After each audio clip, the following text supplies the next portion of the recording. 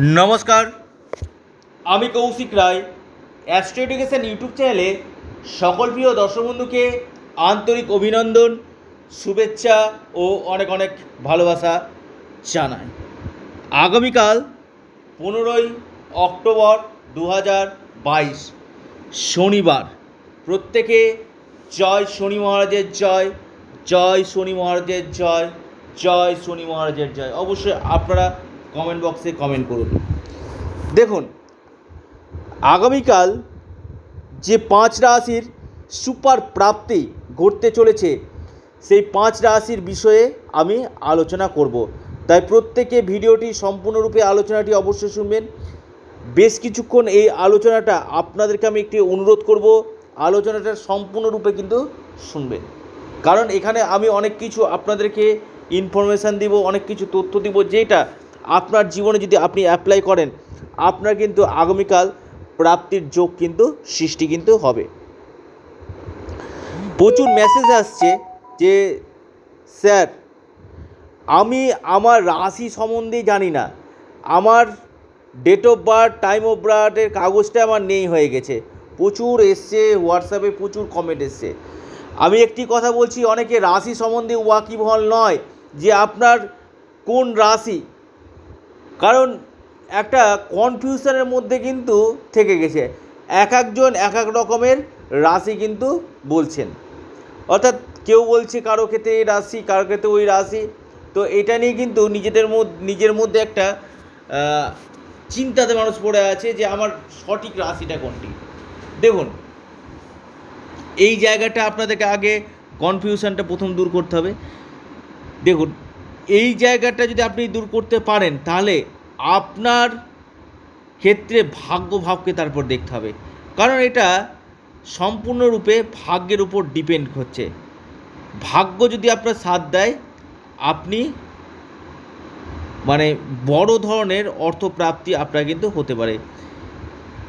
প্রাপ্তি, আমি যে বলছি যে কোনো দিক থেকে কিন্তু অর্থপ্রাপ্তির যোগ কিন্তু এই পাঁচ রাশির আগামীকাল শনিবার কিন্তু সৃষ্টি কিন্তু হয়েছে। যে গ্রহ আপনাদেরকে কলিযুগে অর্থ দিয়ে থাকে সেই গ্রহটির নাম হচ্ছে রাহু গ্রহ। এই জন্য আমি বারবার বলি, রাহু গ্রহকে সন্তুষ্ট করুন।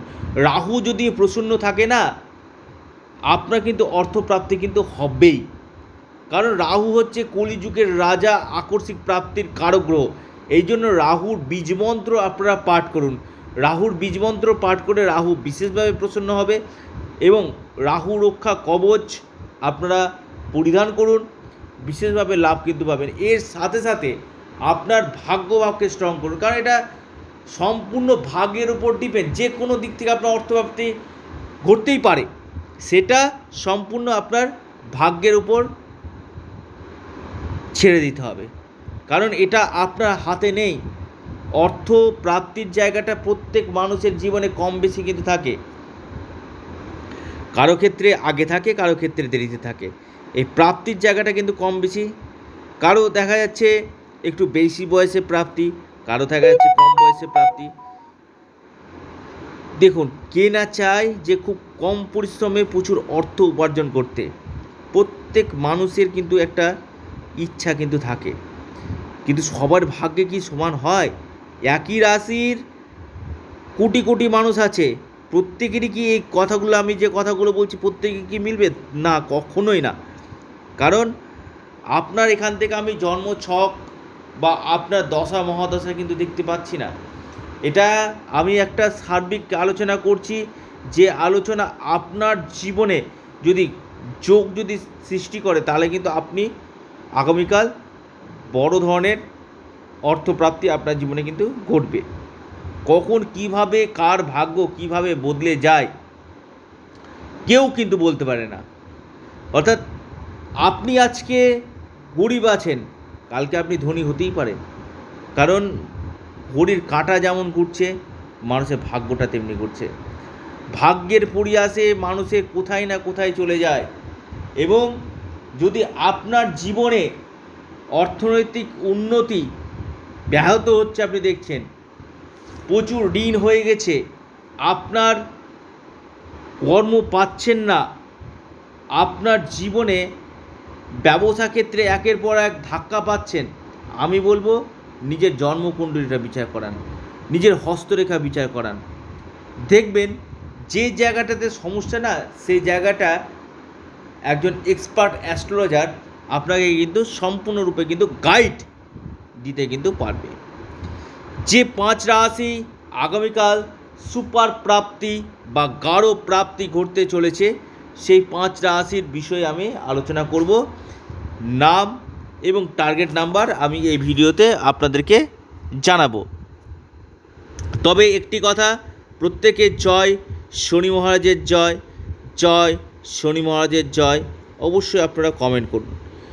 এবং রাহু, শুক্র, বুধ এবং শনি আপনার জন্মচকে কেমন আছে এটা দেখা দরকার। কারণ এই চারটি গ্রহ মূলত প্রাপ্তি কিন্তু ঘটিয়ে থাকে।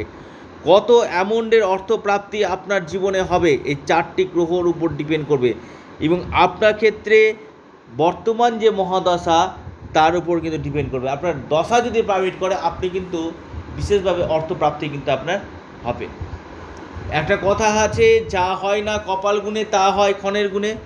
তিথিক্ষণটাও কিন্তু বিশেষভাবে কিন্তু ইম্পর্টেন্ট অর্থাৎ কিছু কিছু ক্ষেত্রে তিথিক্ষণে কিন্তু আপনার ভাগ্য কিন্তু চমকাতেই পারে। আগামীকাল শনিবার যে পাঁচ রাশির সুপার প্রাপ্তি বা গাঢ় প্রাপ্তি হতে চলেছে সেই রাশিগুলোর নাম আমি বিস্তারিত জানাতে চলেছি টার্গেট নাম্বার এবং রাশিভিত্তিক শুভ সময়টা আপনাদেরকে জানাব। তবে একটি কথা,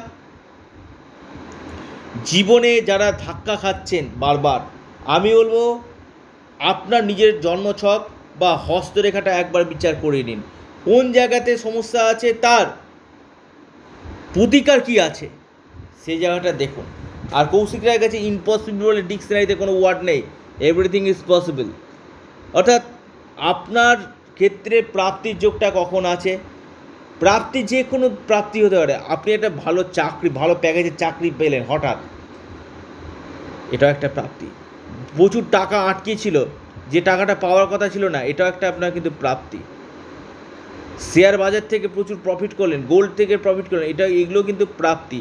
কোনো সম্পত্তি পেলেন বা কোনো সুখবর পেলেন, এটাও একটা প্রাপ্তি। এই প্রাপ্তি কিন্তু যে কোনো দিক থেকে কিন্তু হতে পারে। প্রাপ্তি মানেই যে কোনো দিক থেকে আপনার কিন্তু একটা যোগ কিন্তু সৃষ্টি করছে। তো আগামীকাল যে পাঁচ রাশির সুপার প্রাপ্তি ঘটতে চলেছে, সেই পাঁচ রাশির নাম আমি বলব। প্রথম রাশি মকর রাশি মকর রাশির আপনাদের টার্গেট নাম্বার দুই এবং সাত। শুভ সময় আপনার সকাল এগারোটা দুই মিনিট থেকে একটা বারো মিনিট পর্যন্ত। দ্বিতীয় যে রাশির কথা আমি বলব, সেই রাশির নাম আপনার কর্কট রাশি। কর্কট রাশির ক্ষেত্রে আপনাদের আগামীকালের টার্গেট নাম্বার সেটি হচ্ছে সাত এবং আরেকটি নাম্বার হচ্ছে আপনাদের আট। এরপর যে রাশির কথা আমি বলব, সে রাশির নাম মেষ রাশি। মেষ রাশির আপনাদের আগামীকালের টার্গেট নাম্বার সেটি হচ্ছে তিন এবং ছয়। এরপর যে রাশির কথা আমি বলব, সে রাশির নাম আপনার তুলা রাশি।